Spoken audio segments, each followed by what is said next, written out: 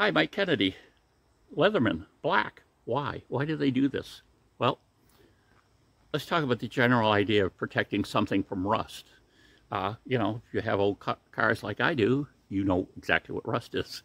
You know, and unchecked, it'll get bigger and bigger until certain things fail and the thing's no good. You can't use it for anything. Now, if you could control that rust and make it encompass the part completely, but make it a very thin layer, what you actually have done is you've sealed out oxygen and, and moisture to some extent. So this piece now can't rust anymore. So when that happens, they usually call it a patina. You get this thin layer of metal oxide. You notice old copper items will kind of turn green. That green is actually copper and oxygen combining, but it tends to coat the piece and protect it from further uh, damage. So we can do that with knives, high carbon steel knives, that are susceptible to corrosion.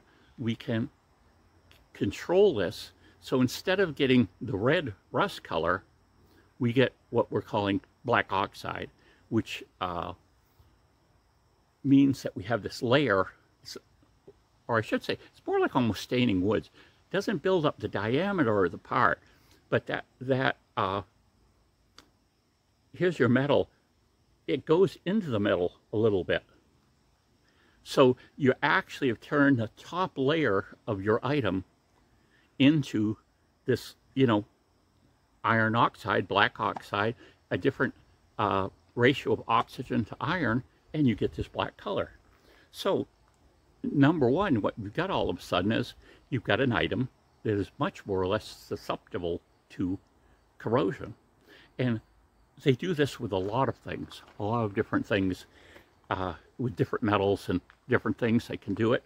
But uh, so they do it on high carbon uh, steel or knives generally because they can corrode and you can get this coating which is going to make your knife easier to take care of. But this is not high carbon steel. This is stainless steel, which is actually, from what I've studied, a little harder to get the coating right on stainless steel.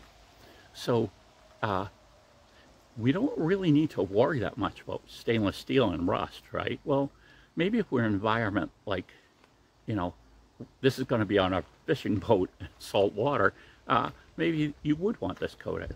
But the, the majority of the reason why this coating is used on a, a number of knives is to make it more, uh, or make it less easy to see.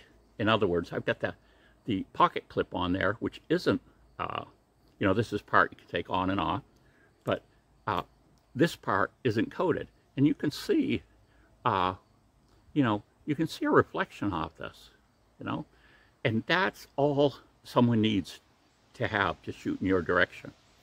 Now, uh, one of the, I'll probably say name wrong, but Moshe Dayan, the uh, uh, one of the leaders of Israel, you see him with a patch on his eye. Well, evidently the story goes that he had a pair of binoculars, and uh, whether he's wearing them or not, I don't. It's like the story isn't completely told, but basically there's a glint that comes off the binoculars, and they shoot, and the, the binoculars fly, you know, pieces, and it gets it in his eye, and he's lost an eye.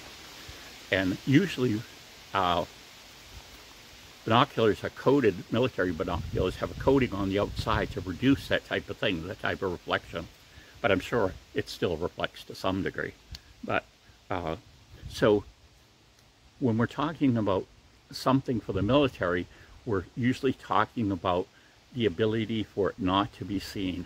So in other words, if I'm I need to use this, you know, if I deploy one of the blades and do something, I'm not, you know, basically having something with a mirror finish that is going to, you know, attract a lot of attention when I use it.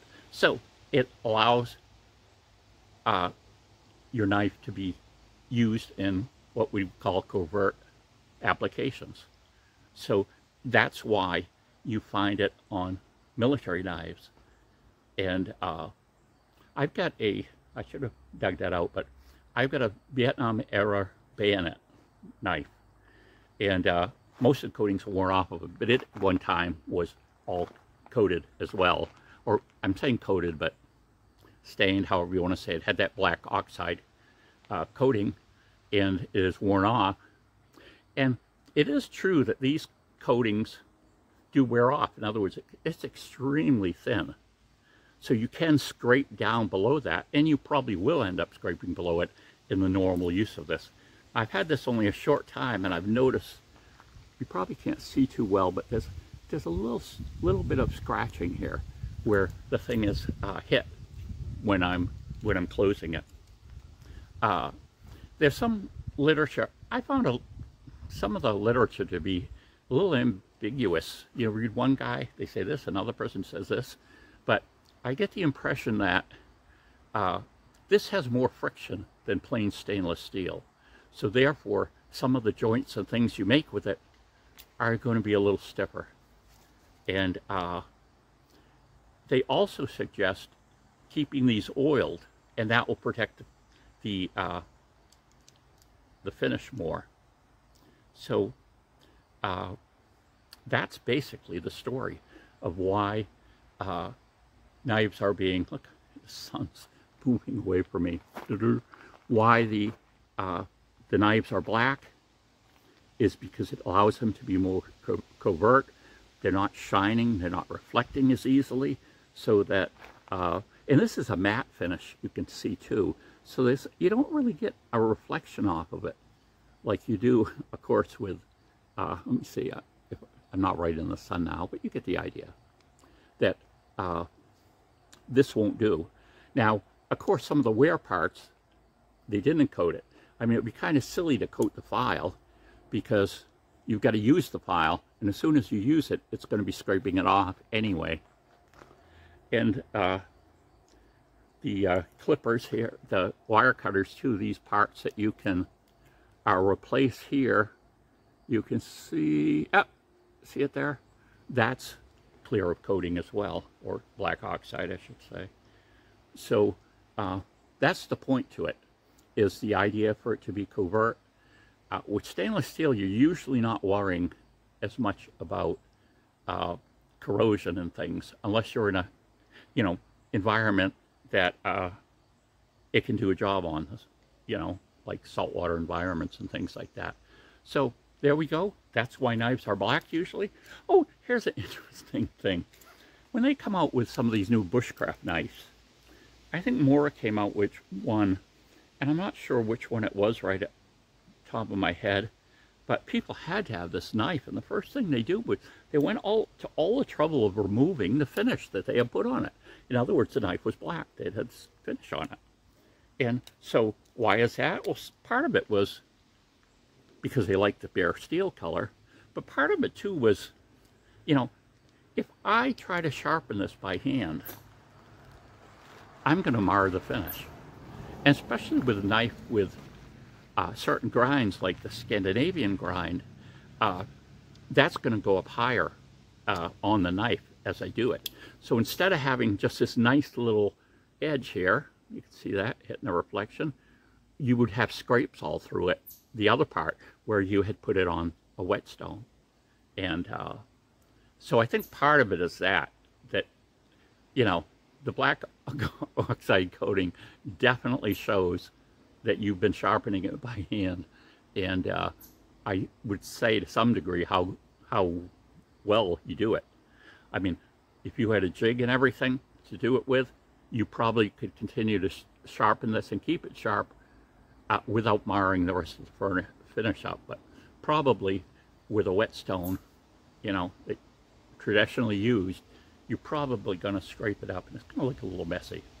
So there we go. Why the Leatherman Wave Plus is black and why tactical knives are black. And so we go into this situation. Uh, I don't know if, you know, the military buys things from Leatherman or whatever, but they have offered it in this style, which would be more likely used in a combat tactical operation by